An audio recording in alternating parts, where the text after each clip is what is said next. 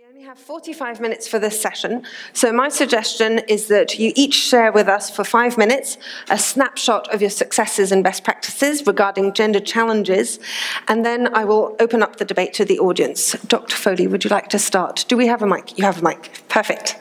Good afternoon. It's a pleasure to be here. I'd like to thank Science Impact for organizing the conference and my uh, college for supporting me, and my panelists here as well, who are esteemed and, and come from various uh, programs that uh, we'll all hear from soon.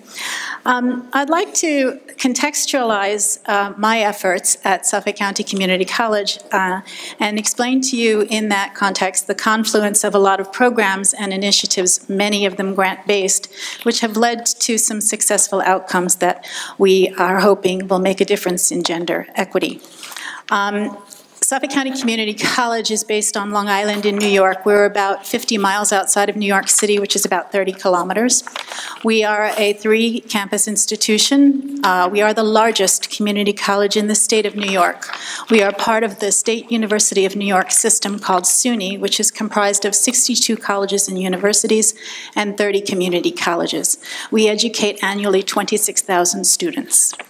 Um, in terms of that, and understanding that Suffolk County Community College is a two-year institution, uh, we are articulative within SUNY, the State University of New York Public, for our first two years of education.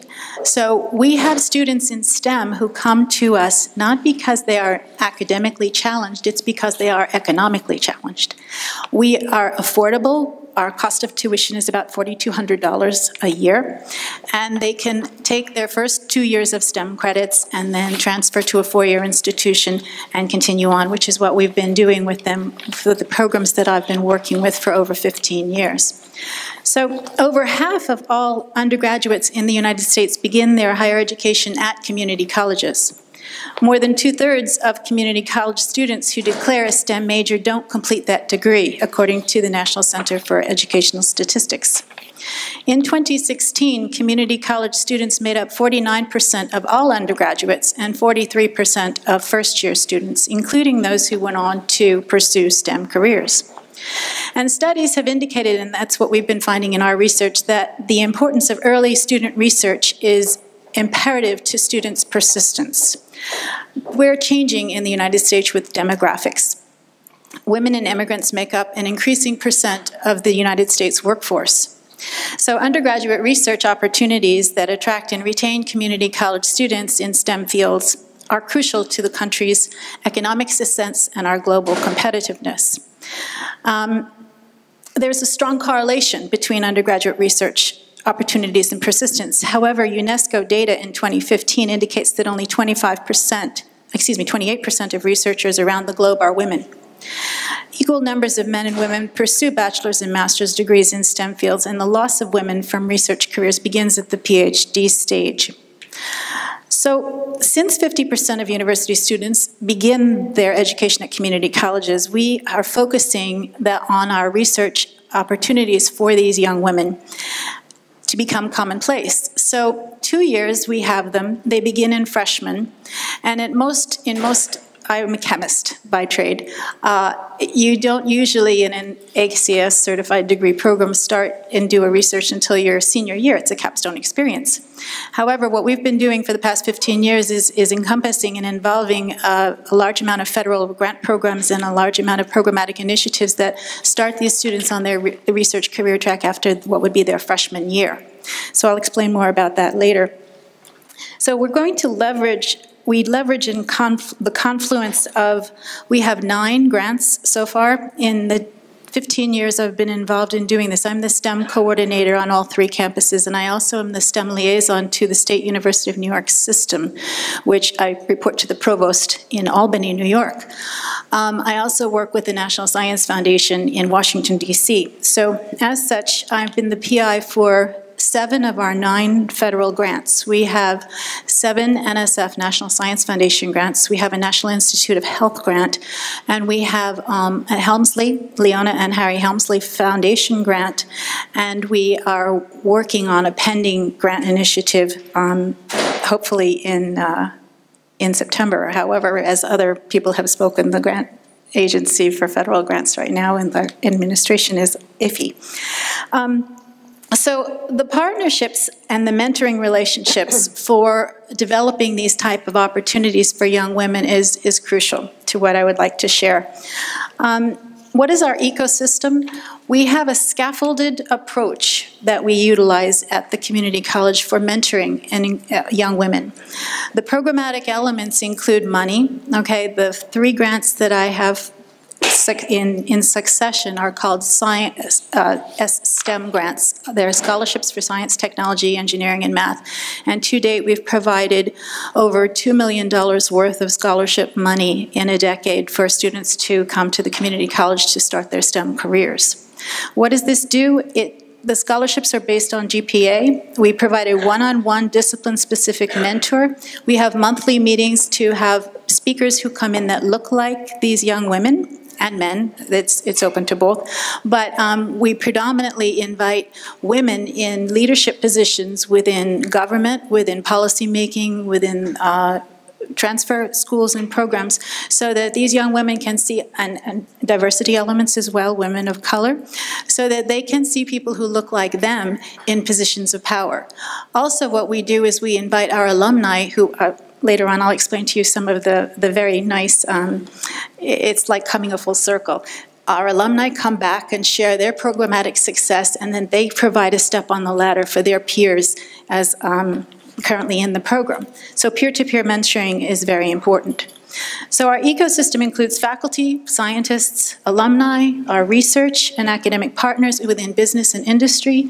We have um, donors. We were hosted, we were chosen this past uh, year to be the SUNY 62 colleges and universities and 30 community colleges, the first community college to host the SUNY Undergraduate Research Conference at our community college. We had over 350 researchers and um, business and industry partners to provide workshops for these students who presented their research projects. And the Shwachman Diamond Foundation chose to endow a scholarship at our community college in perpetuity so that students could be empowered for STEM as a result of that con conference. So your partnerships and your collaborations are key to your scaffolded success. So the results include that in the first cohort of the first five years of our grant, we had 29% women in that cohort. Our second five-year grant from 2011 to 2016, we had 35% women in our cohort. Our cohort that we're running right now is at 48%, so our numbers are rising. Our successes are seeming to uh, encourage future, more success. And in a chemical parlance, you know, when you have a seed crystal, it catalyzes in the growth of more and better opportunities. Over 90% of our graduates um, have transferred to four-year institutions and then to graduate schools to pursue their STEM, advanced STEM degrees. We have another presentation that shows that their GPAs are much higher, their retention rates are higher, and we've empowered over 200 scholars to receive scholarships over the past uh, 10 years with our three successive grants. Um, over 120 of those uh, young people have been student researchers, and they receive paid research opportunities. Because when you come to a community college, you have to choose between work and school. So having extra money to pursue a $5,000 10-week paid research internship where you meet uh, people who can be your transformative mentors for your entire career early on in your educational uh, career is, is transformative. I've received three texts and three emails from my students who are now at Smithsonian Institute for the summer. Mm. They're out at Argonne National Lab, they're at Oak Ridge National Lab, they're at uh, Brookhaven National Lab. Um, our research scholars have been the largest cohort in the DOE research program at BNL because, but these are for competitive research internships. And over 50% of the research scholars are women at the community college. So of that, we're very proud. So I'd hope to tease out some nuances. I, it's a lot of information, but perhaps in questioning I can explain later. Oh, we have we just had a paper come out in the Council of Undergraduate Research that explains our work. Uh, up to Dr. Nave. Thank you. You've got one, perfect. Uh, Thank Good you. af- good afternoon, and and thank you all for inviting, and my pleasure to serve on the panel to talk about uh, gender equity through mentoring programs. I have the pleasure of serving as the Provost and Senior Vice President for Academic Affairs at Prairie View a and m University, and I'm also a Professor of Chemical Engineering in the Roy G. Perry College of Engineering. Uh, Prairie View is a historically black college that's over 140 years old, located outside of Houston, Texas. We are a member of the Texas a and m University system and one of 107 uh, historically black colleges in the United States. Of those um, 107, about 11 or so have colleges or schools of engineering, and so we are a small group uh, within a small group of universities um, at the, in the United States. Historically black black colleges in general were, um, they came into origination in order to educate African-American students uh, post-Civil War era and have remained and remained a significant contributor to educating um, African-American students in particular, but all students uh, in the United States. From a STEM perspective, although a small percentage of all of the institutions in the country, we're overrepresented significantly in the number of African-American students who would graduate in STEM fields and those who go on to pursue uh, PhDs. The particular aspect that um, I came and present on has to do with an ADVANCE project that we worked on um, that focused on the colleges and women faculty in the colleges and schools of engineering at those 11 HBCUs. And one of the components was providing um, mentoring and coaching uh, opportunities for those women in order to help them um, or support their matriculation through the academic ranks and into uh, administrative ranks. Although the university in general is a minority uh, institution, when it comes to women faculty, particularly in the STEM areas, our numbers look like um, every other university's numbers. Some of the challenges that the women experience are the same challenges that are experienced at every other institution. The differences, however, come down to the context and um, how the women experience the environment uh, that they are in.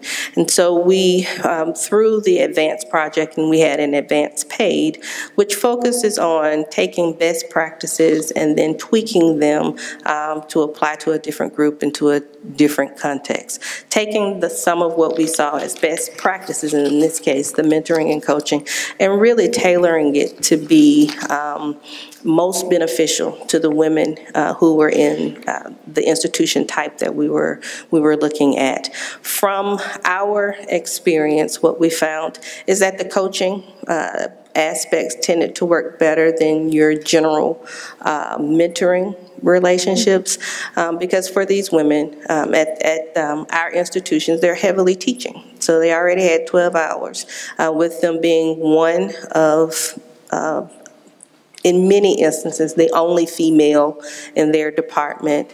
They carried, as you can imagine, the majority of the service responsibilities, the nurturing responsibilities, uh, but many of them had their own families. So you work from eight to five, generally speaking, at work, and then you went home and you worked from five to 12 uh, when they went to bed. So having the normal, just general mentoring, mentornet types of relationships did not tend to work as well uh, for those women because it just became one more thing on top of what they already was being responsible for. And as you all know, uh, in any relationship, which a mentoring relationship is, it's a give and a take. So if I don't feel like I have the time uh, to devote to nurturing that mentoring relationship, then it's not as effective or helpful as it could be. So we uh, ultimately spent our time focusing on coaching because that tended to work better. Uh, It didn't require the same level of um, relationship building as a mentor-mentee type of relationship. And it was someone who they could respect and they could stretch toward in terms of being their accountability uh, type of coach. So it's scheduled in and they helped them on specific areas in which they needed to um, advance. The other um, challenge that we saw with the mentoring relationship is making sure that you had someone who had a common experience and who understood your cultural context. Um, because in designing some of the mentoring programs that we looked at and what we saw, um, they did not necessarily fit with the norm or the cultural context of African American women per se.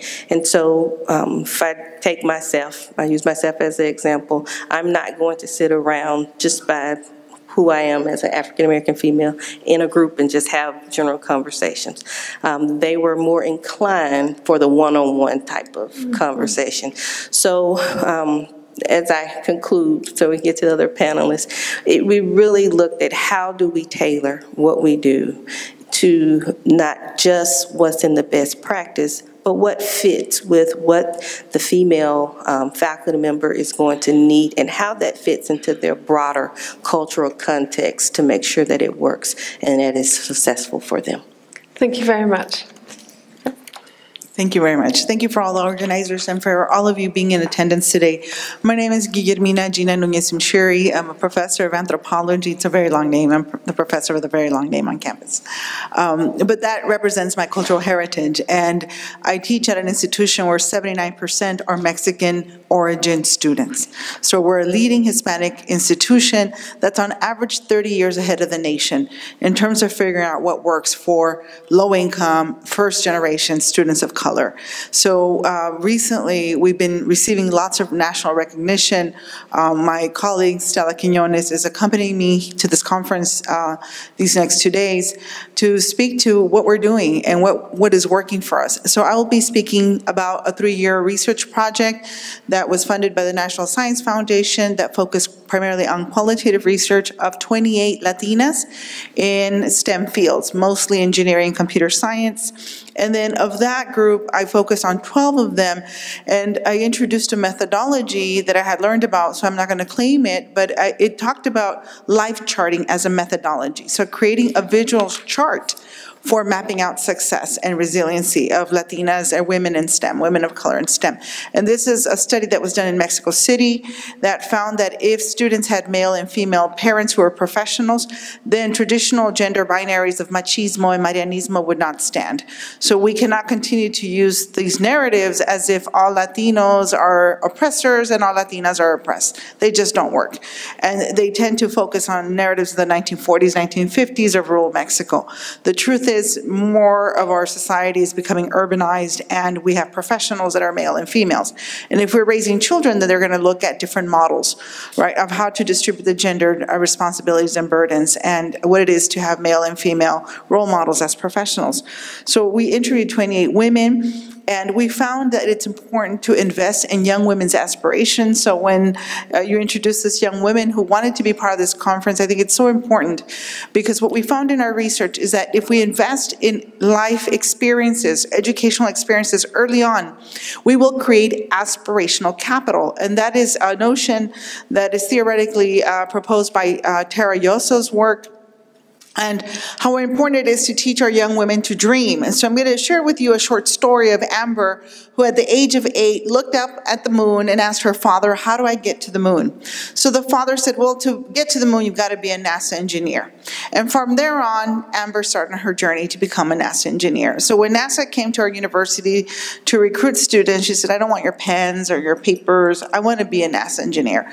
The woman was so moved that she called the recruiter and said, find me an internship for this young woman right? Um, so I got to do uh, Amber's life chart, and I realized how important it was for the role of parents to invest in children's aspirations.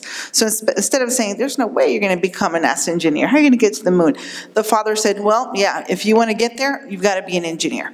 And the important uh, role that teachers and mentors play early on, we realize that if we invest in experiences where young women can see themselves as scientists, when they can get recognized in competitions, when they get those ribbons, they begin to invest in themselves and form their identity as future STEM majors. So by the time they get to the university, they come in saying, I'm a mechanical engineering major.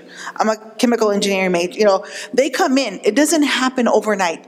So I think it's important for us in the audience to recognize that those investments have to be early on in the K through 12 system. Um, some of our students realized that they were really good at fixing computers and fixing things, and that happened oftentimes uh, up into high school.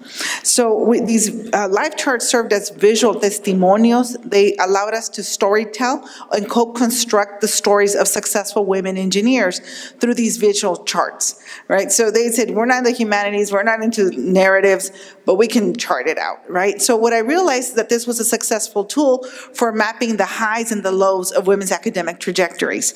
And in co-constructing this narrative, I asked women to name their charts. What would you gonna name your chart, right? And then tell me about those lows. And so as a mentor, I would say, here you have these huge lows. Tell me how you got up. What did you do to get back up, right? Because I'm not going to sherry code it. You know, becoming a STEM major is not easy. So when people question what your role is in a lab, or if you're there to clean up their trash, you have to say, no, I am the doctor in the lab. This is my lab. No, I am the PhD student in the lab. This is my role. I don't work here in this other role that you perceive me to be in because I'm a woman of color. Uh, so we realized that these life charts were really important in mapping out these experiences early on. So um, in the university, it's very common to use our spaces for Lego competitions, for building robotics competitions. So I remember speaking to our campus president and say, Dr. Natalicio, these Lego competitions, very good, because they show up in our life charts. They show up in our narratives. These robotics competitions, very good. Let's invest in them. We realize that women in STEM like building the houses, not necessarily playing with them. Once they were done building them, they're like, I'm done. I'm an engineer.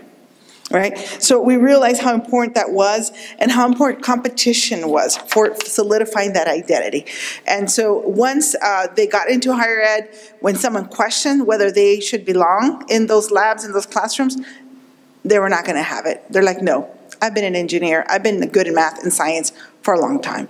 And I've competed at the state level and I have my awards, right? So, and Miss so-and-so, my teacher said I was really good. So no, I'm not going to have it. Uh, so um, my role has been to share our research findings with principals, superintendents, parents, diversity officers, early child development specialists.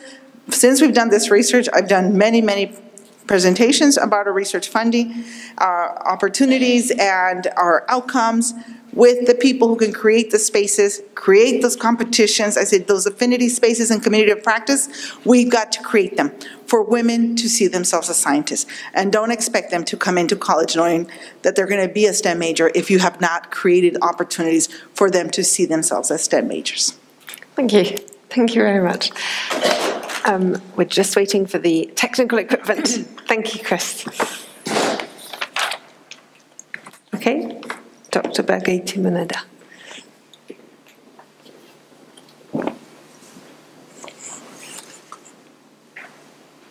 Okay, thank you. Good evening to everybody. And it's really a pleasure for me being here and have the opportunity to share with you this 10 years of experience of our Women in Science Committee in Catalonia.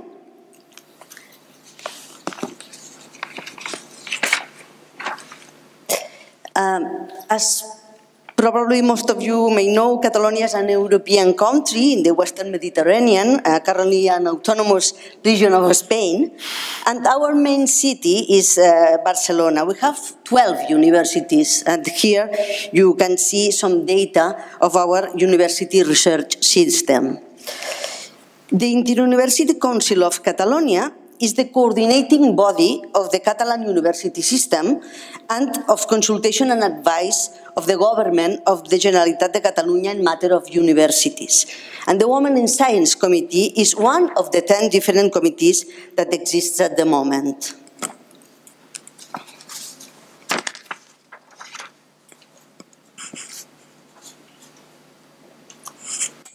The Women in Science Committee is responsible of developing policies of gender equality in the field of higher education and research, and the committee uh, comprises one representative of each Catalan university and seven members appointed by the minister responsible of universities. Some notable functions are advise universities on the issue of gender equality, uh, coordinate equal opportunity plans, all Catalan universities and research centers now have uh, uh, equal opportunity plans, and promote gender mainstreaming in the curricula. Today, I want to share with you only two of the most recent uh, actions we have uh, developed. Um, and we are very excited because we have worked a lot to achieve them. And we have to say that we are very proud of our work and we have high expectations in the results. Uh, on the one hand, we have promoted an accorded system of indicators to measure the situation of women at university and research centers and, on the other hand, gender mainstreaming in the university's curricula and masters at degree level. Mm, we have worked during several months to have a, this accorded system of indicators to measure the situation of women and, and, uh, in universities and research uh, centers.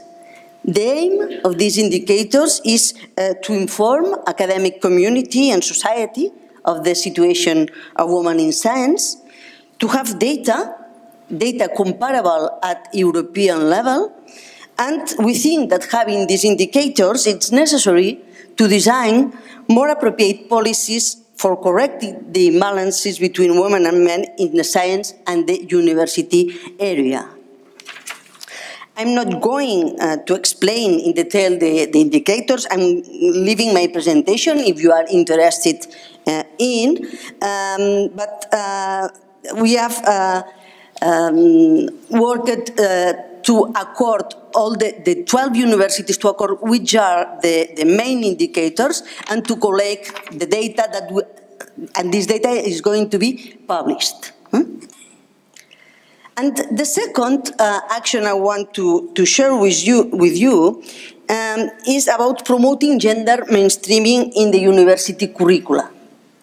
The recent uh, Catalan Equality Act is a very progressive law, and uh, our committee has had an important role in it. On one hand, during the processing of the law, because I have been invited to speak at the Catalan Parliament uh, to give our view as committee about the article of universities. And the law was approved on 2015. And one of the milestones promulgated by the law, and I think it's a novelty uh, in European universities, is that from now it will be mandatory that every university, when presenting a new degree to be evaluated by the Quality Agency for Accreditation must prove how it has incorporated gender mainstreaming in the curricula. To ensure compliance of this new legal requirement and to promote this, we have invited a representative of the Quality Agency to be member of our committee, and we have been working during uh, months uh, giving advice to the agency to start doing this work. Huh? One minute left, and to conclude with two ideas. Uh, two lessons uh, learned during these 10 years of experience of our committee. On one hand, we have learned that the mantra constantly repeated, saying that today inequality residual in universities, men and women have the same opportunities, this is a problem of the past, huh? is still a mantra very persistent. Huh? And a good way to deny it is with data. We are convinced of that. Indicators are important because we can show with data that many barriers remain. The data are going to be published, rectors will see the, their university compared with others at Spanish level, and I think it uh, will show also academic community and society where inequalities persist in, and can generate social awareness. And the second lesson we have learned is that the mantra, okay, uh, maybe there are some inequalities, uh, but it's only a matter of time. time will fix it. Or okay, there are some inequalities, but there are more important things to do. at university uh, because uh, we have to be uh, the rankings and we have to, to, to have a research impact. And this is a woman's issue. eh? It's not uh, so, so important. No? I think this uh, is false. huh? And uh, of course, nothing is going to change uh, sitting, uh, uh, waiting um, times pass, eh, of course. To solve it, we need good laws and strong policies in favor of equality. We are convinced of it. And this is our function as committee eh, and our main challenge for the future, eh, to convince the governing body of the universities that incorporating gender mainstreaming in the curricula, uh, it's important to improve our standards of gender equality, but not, it's not a marginal issue, but a strategic issue about quality and excellence, huh? because uh, it's an issue about uh, democracy eh? and an issue about uh, justice. Thank you very much. Thank you very much.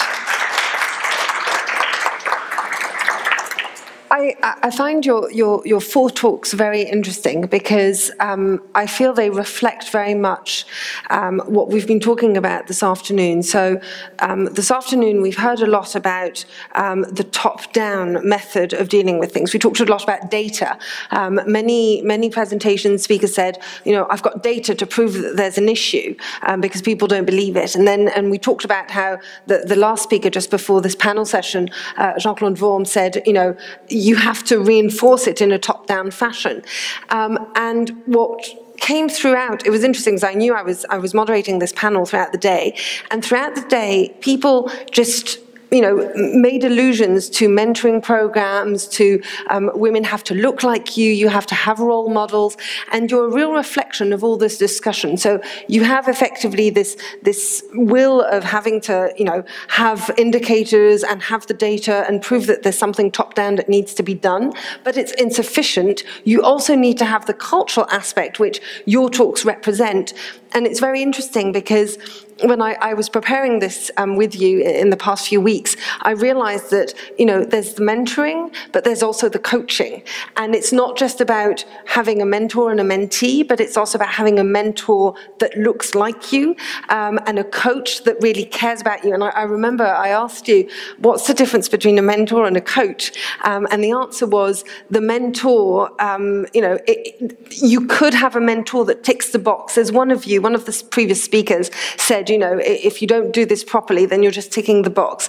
I'm not saying all mentors do that, but the coaching, you can't tick the box because the coaching is on over a long period of, of time. So there's a real commitment on behalf of the coach and on behalf of the person who's being coached um, to do that. So, so thank you very much. There's, there's one thing that I really loved um, was this idea of aspirational capital. Um, I thought that was fantastic. I, I um, in, my, in my day job, I, I I work on a completely different subject um, to STEM. I work in health, and I spend my whole life hearing about the well-being capital. You're born with a well-being capital, uh, and the idea is that you know you need to, to, to, maintain this capital throughout. And I hadn't heard the idea of aspirational capital. Um, if anything, I think this day has been full of aspirational capital. Um, I certainly feel you know buzzed up, and, and your talk certainly um, gave that. I have tons of questions, but I'm conscious that um, we've got very little time left, and I don't want to monopolize and rattle on. So I'm opening the floor to the audience. Um, do you have any questions to start this debate?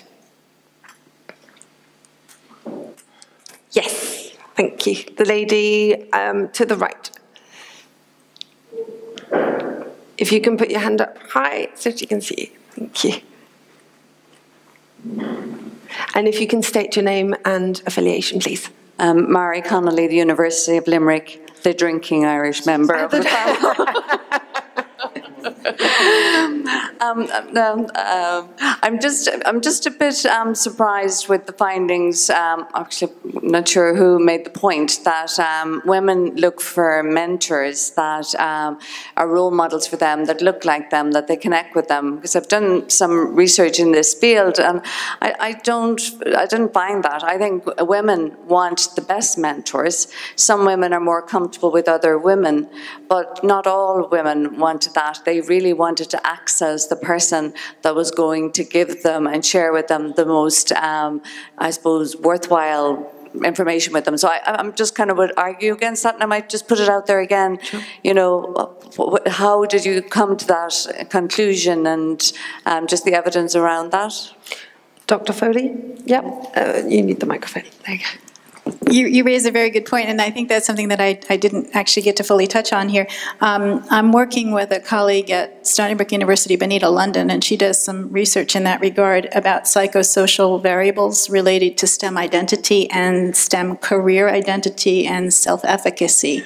And that's very complicated. In other words, sometimes students don't have that metacognition of exactly who would be a good mentor, and then when they get into that environment, they encounter it, what's called a chilly academic climate.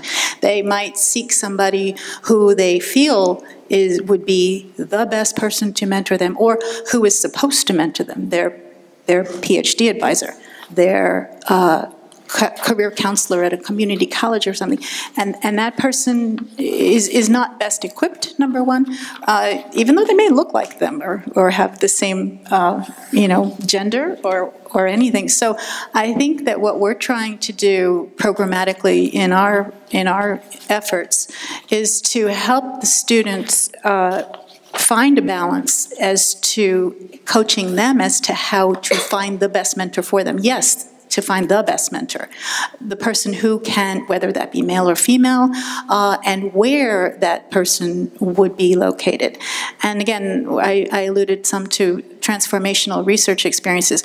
Uh, People come to the community college not with good STEM self-efficacy. It's a cultural thing, and it's also sometimes a woman thing. If they're first generation, you should be a nurse. You shouldn't be a doctor. You should you should not aspire to get a PhD. And um, over 15 years, I could tell you stories and stories about, um, right now, I have a young woman who, who is graduating from Columbia University, private school, received a full tuition NSF fellowship coming from a homeschooled environment to our college in 2008 at 16 years old. She funded her education at a community college, then she leveraged that into a $30,000 Merck scholarship at the Stony Brook University, and then she got the NSF fellowship, but she didn't start out saying, I'm a young black woman in, in, that I can get a PhD. She found this along the way through mentoring, which is what this session is about. And so I totally agree. The best mentor, but this whole idea of um, the efficacy and the domain of how to get there is something that we have to be conscious of in our mentoring of these people as well. Dr. Nave? The only thing I would, I would um, add, I think it's, it's both. Um, And what we found is best is subjective, because most of the time, people really don't know, the students that we work with and even some of the faculty, they have an idea, but whether or not they truly understand what is the best uh, coach for them or mentor for them can be subjective. Where the challenge really became is, you know, whether they look like them, didn't look like them, um, it, it, the the common experience and whether or not that person really understood the individual enough to be able to mentor them and help them.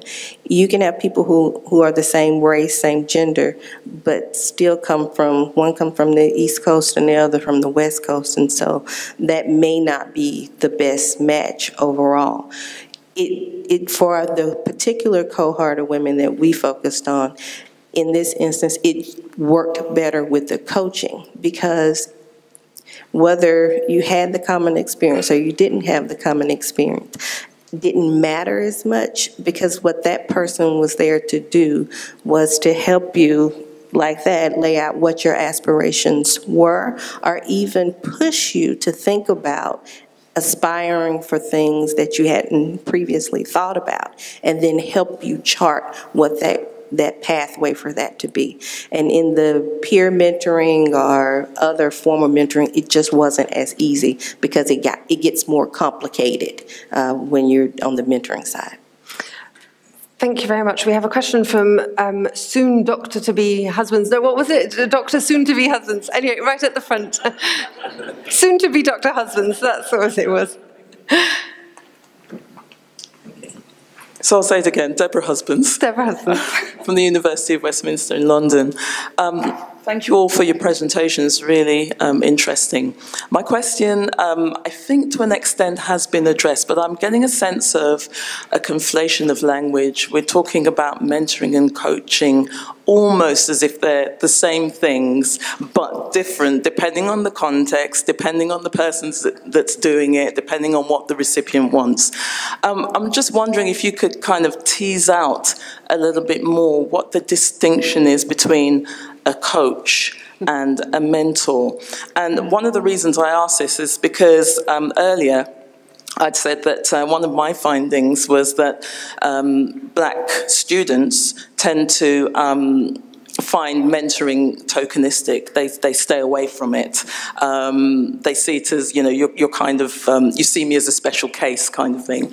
Um, so I'm wanting to know how we can move away from that uh, and get black students to engage with something that is really for the greater good. Uh, I agree. Coaching and mentoring are two different uh, concepts. Mentoring, um, I think it's more of a a relationship that you build and dialogue that person mentor you, whether that's on your professional career, your personal, but they're there to help kind of guide you through.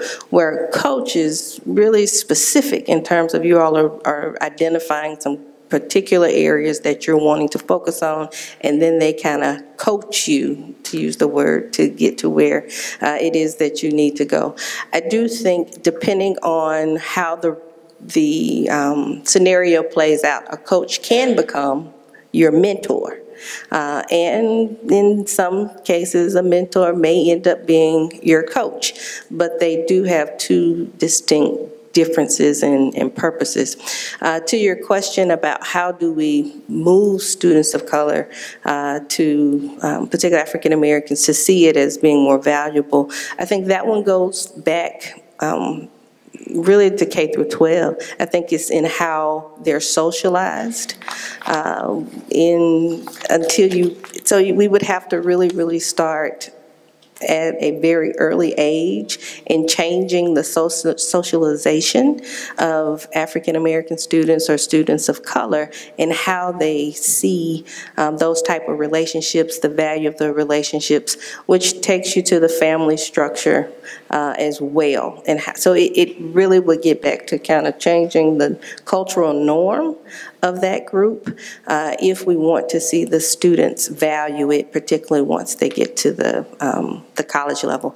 But I, I, think, you know, at the college level, we can um, share with them, but I use the old dog, new trick um, type of analogy. Once they get there, it's really hard to move them because they've been set. So all you can do is try to, to intervene, but if but we would really need to start much earlier in their life to, to see the change. So we, we inquired on the role of family. So fathers came up, mothers, grandparents, older siblings or cousins. But then there's the whole realm of significant others. Who were the significant others? They don't always look like you, not especially in communities of color where you don't have a lot of role models that look like you. But it was sometimes a counselor or the peer group, right? Someone ahead of you, one or two years, that can say, stay away from that class, that professor has issues, right? Take this one, here are some strategies. So the peer groups were actually very significant for Latinas, right? Going one or two years ahead of them. So the peer, the affinity groups, we found that how critical creating the affinity groups was because they had, oftentimes we found also with women that they had to prove their way in. So just finding a group and say, well, you help me is not easy. They have to prove that, hey, I got an A on my exam. Okay, you're good. Then we'll let you in. Or you're a gamer, then we'll let you in. So women are constantly having to prove themselves, right? And we found that, that they've constantly had to prove themselves, and in having to prove themselves, it solidified their identity, right? And once they did that, they were let in the gate. Uh, so there are these significant others, and I'm always looking for those significant others in the research and in the interviews. Who were those critical people and what did they do mm-hmm. that encourage you to keep on going forward, that solidified your ability to see yourself as strong in mathematics and science? And, and that was it. That they, they see these people are critical, and they're not always your, you know, your the person you think, it's, gonna- it's not always the teacher, it's not always gonna be the mother or the father. It's, hmm. sometimes it's gonna be these critical people that you find in your, in your journey. So we call them as critical in the stepping others. stone process to getting to STEM careers. Dr. Timoneda, very, very quickly, because we're running out of time, I was just wondering, do you, in your Inter-University Council of Catalonia, are, are there experiences of mentoring, mentoring programs, of coaching programs? Is that, is that also something that, that you have in your, in your inter, inter-university council? We have, we have uh, mentoring uh, uh, programs in some of our universities, not all the Catalan universities, but some of them, especially the universities, the, the universities with the STEM disciplines. Right. And uh, the projects are mm, focused on working on high schools. Projects in high schools to go there and to show, uh, because the, the stereotype and the, the, the problem begins uh, it, at an early age. No? It's, it's important to, to act when you are in the university, but to change uh, to change the, the, the, mind and uh, the girls, uh, young girls, mm, uh, it's important they don't see uh, engineering as a, a, a strange thing. Uh, uh, no. To create the aspirational capital that we were talking about? Of course, and show models of uh, women uh, very normal and very maybe feminine or not, I don't know, but they can be also engineering or, and this works, yes. Super. Can I please ask you, uh, we're running out of time, I'm sorry. Can I please ask you to thank our four speakers um, for this session? So a round of applause, please. And keep your energies up because I'm going to need you to applaud three times. First of all, can I please ask you to applaud all our speakers today who kept us on time? We're finishing at quarter past six, spot on time. So a round of applause for all our speakers. A big round of applause to you because without you, this would not have been such an extraordinary session. You've been very interactive, very sharp, and to the point in your questions. So, round of applause to the audience. And a round of applause to our organisers. First day is over. It's been a terrific success. Day two is tomorrow. It starts at nine. Um, between now and tomorrow, nine o'clock, we have a fantastic reception that awaits us. I believe it will be somewhere between where the coffee was and outside. Um, so, a big round of applause to the organisers and see you at nine. Thank you very much. Thanks a lot.